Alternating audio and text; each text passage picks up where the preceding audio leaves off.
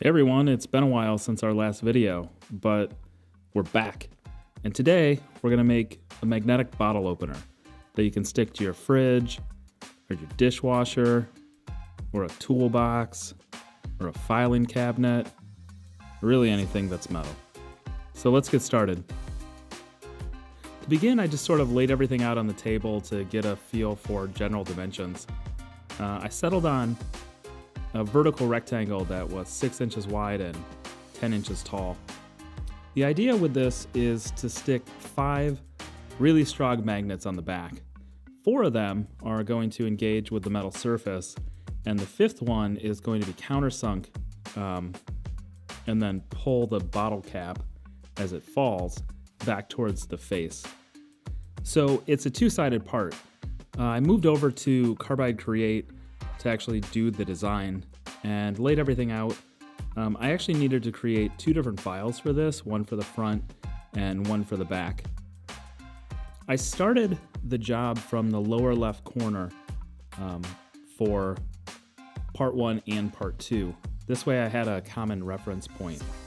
So once I was happy with the design, I checked it in the simulator a couple of times and then saved the G code and moved over to the machine. At the machine, because this is a two-sided job, I needed to make some sort of corner reference. And to do that, I just used a couple of one-bys and some brad nails. I will say that if I was gonna make more than maybe five or 10 of these, I would probably make a proper jig for this so I could very easily and repeatably uh, run the first side and then uh, flip each one over and do the reverse side. But because this was a one and done, a couple of brad nails and the one bys will, will do just fine. The first side ran, uh, there was a, a, pocket operation for the logo, and then I marked a couple of holes um, for the actual bottle opener itself.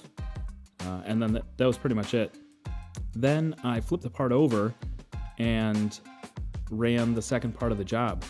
Uh, there are five pockets, one at each corner for the magnets that stick to the refrigerator or whatever metal surface you're going to use, uh, and then a recessed hole.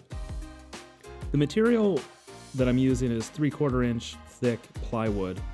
Um, I recessed the pocket about a half an inch. Uh, the magnet itself is about an eighth of an inch thick. And once everything was done, I blew out the dust and used uh, a little bit of hot glue on each one and stuck the magnets in, and success. Project done.